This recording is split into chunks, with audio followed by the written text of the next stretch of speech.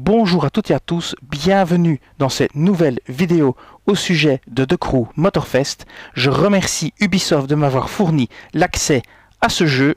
Ce contenu est issu d'un partenariat entre Ubisoft et moi, mais je ne suis absolument pas rémunéré pour faire ce contenu et je suis libre de toute parole et de dire exactement tout ce que je pense. Rien ne m'est dicté par Ubisoft. Ils m'ont simplement fourni l'accès à The Crew Motorfest afin que je puisse vous produire ce contenu.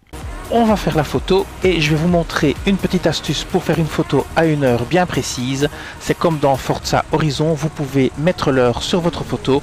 Donc ici on doit euh, faire une photo du Volkswagen Combi 21 Window Bus à Diamond Head Park à midi.